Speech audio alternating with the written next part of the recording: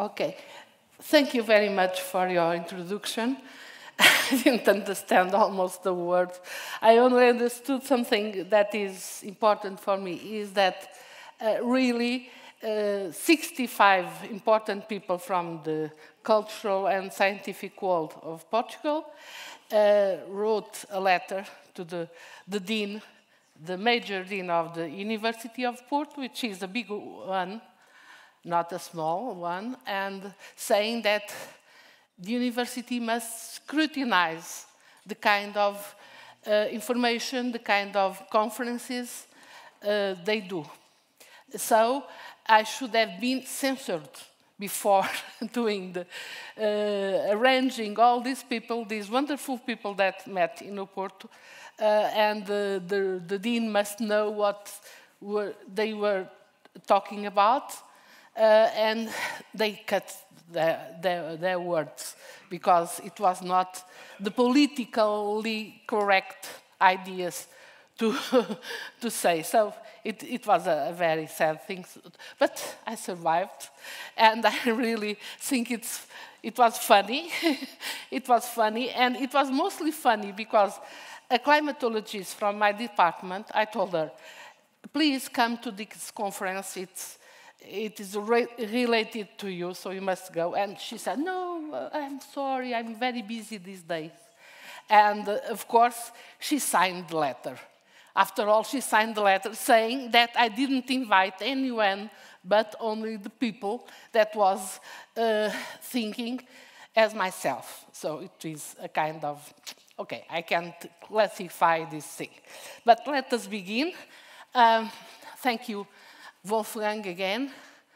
And uh, our first purpose is to use the available data to criticize our, our enemies let us put in, into commas. Enemies is not really the real word, but it's okay. Use these uh, arguments to demask them. Because, you know, uh, we think, I have cats, I love cats, and uh, I think that sometimes their ideas are like a cat with his tail off, a hidden cat with his tail off. Uh, I am going to analyze the permanent service for mean sea level and the SONEL, which is the acronym is there, the SONEL data, is a, a bit complementary what Professor Mörner and uh, uh, Thomas Weissmuller had said. It's not the same thing, happily for you. You are not going to listen to the same thing again. But they have uh, two things in their site, two things the sea level trends and land movements. And it is interesting to analyze this. If I uh, make a kind of chart with the, the position, latitude and longitude of the, the several tide gauges, uh, we can also already almost see a map of the world. And you can see that in the northern hemisphere, of course. In the south hemisphere, you have Australia and nothing else, almost, because there is a lack, a very big lack of information about the southern and the, the lower southern hemisphere and the lower latitudes.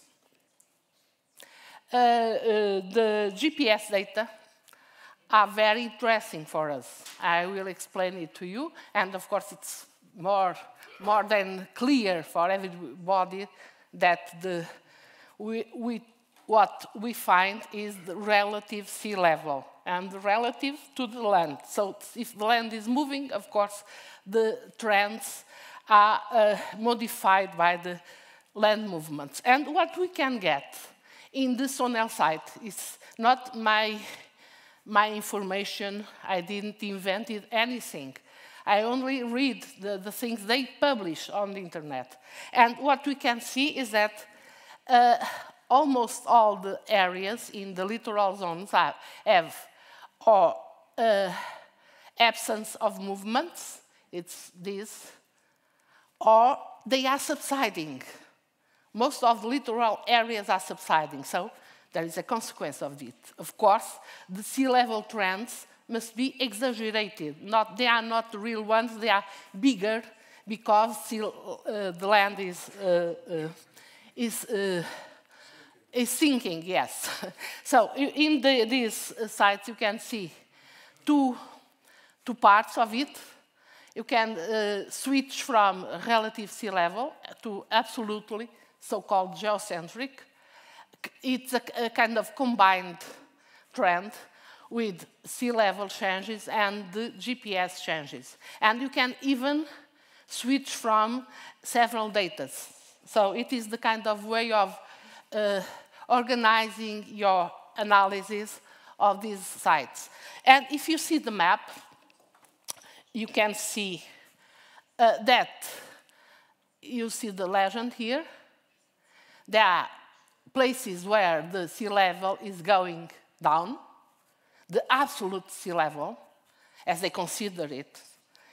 It means sea level trends plus uh, land movements is going down, of course, in the areas in the north, and places where it seems to be stable, and, well, most of the places it seems it's going up. But you can see that most of the places are in yellow or a little uh, uh, light orange, so less than two millimeters per year, okay, of absolute sea level change. Their data, not mine. Uh, uh there is a place that is in Antarctica, also with a, a red arrow. It means more than four millimeters of absolute sea level. They say, so they say. Let us analyze the places where the sea level changes seem to be more than four millimeters per year. It means some of these areas and these areas too, okay? And these are the only stations, there are uh, seven stations all over the world in this condition, okay? You have seen the arrows, the red and the brown arrows. So let us analyze. It's a little tedious maybe to say everything to you, but in the Alaska, for instance, you have, I must see this here, a combined velocity of 10 millimeters, uh, but, but this data is uh, taken from a place which is 10 kilometers from the tide gauge okay? So what is the meaning of a GPS which is 10 kilometers from a tide gauge? Nothing. It, and also in the place which is, we know, it's uplifting. So it's not a stable place, uh, not in the world. Okay, so Antofagasta in, in Chile, well, there is another place with a brown arrow, sea level is going down, but land is uplifting very much because there was a big earthquake there. Uh, and so, uh, uh, but nevertheless, they say that the combined velocity is here. And so that sea level is, absolute sea level is uh, going up.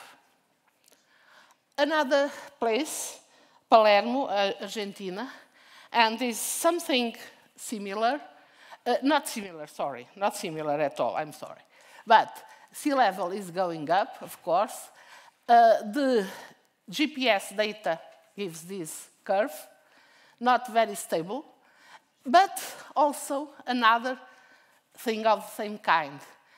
The distance from the, uh, the GPS and tide gauge is more than seven kilometers. So the meaning is uh, Argentine islands, the, in the Antarctica. What we have, you have an interesting thing also here because you have uh, a curve with all the data they have and the, the trend, which is quite big, 3,5 and, but if you split this this data, you have a very different trend. So it's very important, it, has said, been said before, it's very important to study the right numbers. And these are clearly not right. These uh, first uh, uh, data are completely wrong, of course. And also, the GPS is not very, very secure, I would say, doesn't give a very good, uh, very good results. Going to Europe, what we have? You have two places with red or, uh, yes, red arrows, which is Cadiz in southern Spain and Klaipėda in Lithuania. Okay, about Cadiz is an interesting thing because really the trend we can find that permanent service from sea level is that one, okay? And then, really, the GPS shows a kind of stability. And then, again, what we see is that the distance between the GPS and tide gauge is more than 10 kilometers. And you see what tide gauge is? Is in an island, so it, of course is not stable. Of course, this, this, uh, this doesn't mean nothing. This combined velocity that they find means absolutely nothing. Uh, in Lithuania, of course, you have uh, these cycles that you can see in the sea level changes. And, and of course, the, the most recent data, they give a bigger, a bigger trend. But same thing about GPS. So they use this data, what I'm trying to show. They use this data. Uh, individually, trends might be correct. Individually, uh, GPS might be correct, but sometimes, most of the times, there is one thing wrong in these equations, so the result is not, is not right, is not right, is incorrect, of course. That's what I pretend to say.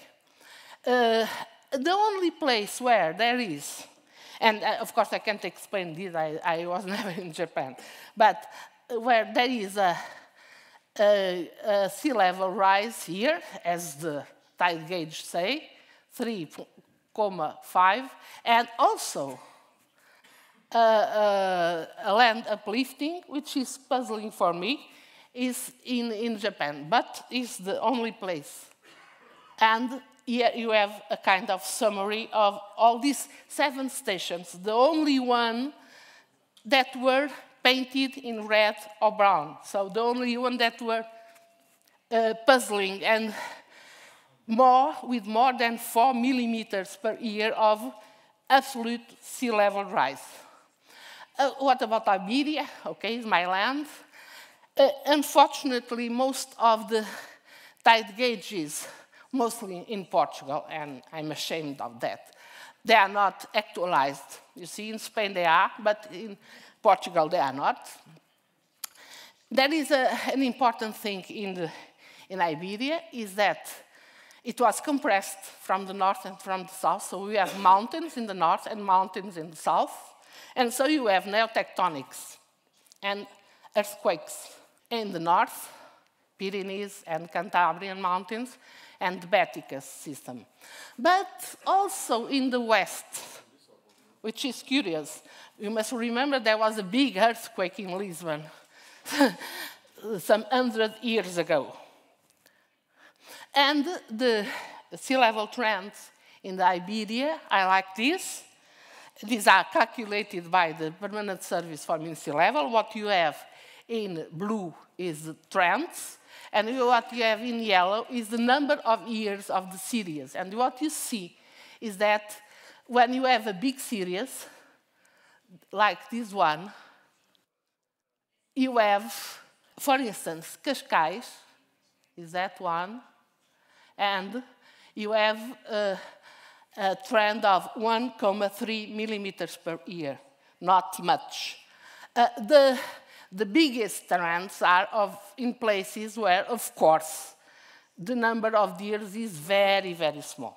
Uh, showing it in, and, and uh, by the way, uh, the Portuguese coastline is here. So very uh, mild sea level trends. So if you picture it out, what you can see is that the, the stations, tide gauges with a low, uh, limited number of years, they have very large variations. And the ones with really big series, they have very small variations and not very big trends because they are much less than five millimeters. It's about two millimeters or so. Uh, uh, Cascais is, the, is a place near Lisbon with the biggest series of sea level data in the peninsula and one of the world. Unfortunately, the data finished in the 1993 or something. It means the data that are uh, involved in permanent service for sea level because there are other data. And so you, you have the trend, the calculated by Excel uh, trend, which is about 1,3 millimeters. And now they have digital uh, tide gauges, and they are here, they are shown here. By the way, Cascais most of the time is not working well, which is just terrible. And there is a, a person, uh, a professor of Lisbon University, that did this graph showing the trends in Cascais and showing that they are different from time to time, from 1880 till he, he, he, can calculate them to the end because he got the other data, the other digital data. And what he says, he says that the last years have more than four millimeters per year. In Lisbon, okay, in Lisbon, near Lisbon, where, but with these corrections, the corrections are an important thing, and Nicholas knows it very well, uh, because these things are removed. And to find this data, it was used an uplift of uh, uh, comma 5 millimeters per year, half a millimeter per year. Was it an uplift at, at Cascais? It was not. There was no uplift at all. If there is something, Cascais is going down. A little bit, but it's going down. So, another thing which is also interesting, Leixões is the harbor near Porto, my city, uh, and there was a, a big work doing with digitizing all the tide gauges from more than 100 years is different from permanent service from sea level. And they discovered that it seems that Leixões is also, uh, the, the sea level at Leixões is going down a little. So you see the values? It was what they found. They are mathematicians. They are not geologists. They are not uh, environmentalists. They are uh, mathematicians. And so it is here you have the curve of Leixões. Of course, it ends before present, but you can see that even the curve that is there shows a kind of stability. Okay, Porto is not going down, sea level is not going up in Porto. It seems that, on the contrary, Porto, which has a beautiful landscape, as some of you must know, is uplifting, probably. It, that it, at least is my idea because I studied the marine terraces there. Another thing very interesting I, I discovered lately, and I'm going to hand. I don't know what about the time, but it, at NASA site, which is very useful for climate research, is they have a new look I invite you to, to see it. And here you have the peninsula, the, the most important, one of the, the, important stations is Lisbon, the Geophysical Institute, so it must be quite well done, we, we hope. And then what you have, a very interesting thing. The, the, the graph you see when you open the page is that one. But then if you click on uh, an adjusted thing, you see this. And this is the homogenized data. And what you can see, what is the difference? Oh, it's a big one. You see, these points are around 998. It means El Nino. So it's a very hot year, really. And they make this disappear. It disappears here. And they make the other year, of course, the present one, nine, uh, 2017. So with this, they can Ah, ah, and they published now, before they published the, this kind of data. Okay? And with this kind of data, you can do all the graphs you, you want. Now, they only publish the homogenized data. It was in a month or two months that this changed completely. So they put uh, under the, the carpet the numbers they don't want us to see. Really, that's at least it's my idea. And so, if you, you do a trend, a simple trend, I'm not a mathematician, uh, on the Excel with the uh, uncorrected data, you have this trend, okay? And uh, Lisbon is one of the places in the peninsula where the temperature is going up, really. But this is the so-called corrected data, and the trend is almost the double, okay? So it's very useful for them to say that climate is really warming, and Lisbon is one of the places in the world where this is happening, and so the fires and everything is about climate change, and climate change, of course, has to do with CO2.